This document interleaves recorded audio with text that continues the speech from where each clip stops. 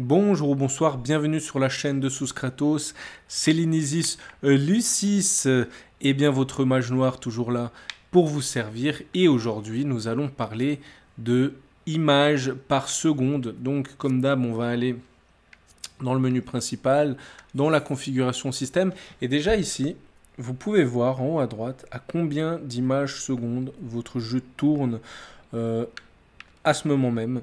Donc là, on est à 52, 53, 54 images secondes. Donc, mais pour modifier euh, donc tout ça, vous allez aller dans paramètres d'affichage et vous allez descendre tout en bas. Voilà, nombre maximum d'images par seconde. Donc soit sans limite, si vous avez euh, un plutôt bon PC, 60 images secondes, 30 images secondes, 15 images secondes. Et vous pouvez également choisir de les limiter lorsqu'on est absent. Ça, ça me semble plutôt pas mal, hein, parce que ce ne sera pas grand chose.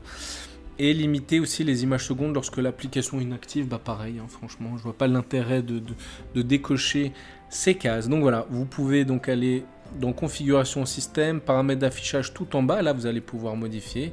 Et sinon, bah, pour voir à combien tourne votre jeu, vous pouvez venir le voir ici en haut à droite. Voilà, j'espère que cette vidéo vous aura plu et je vous dis à tout bientôt sur FF14.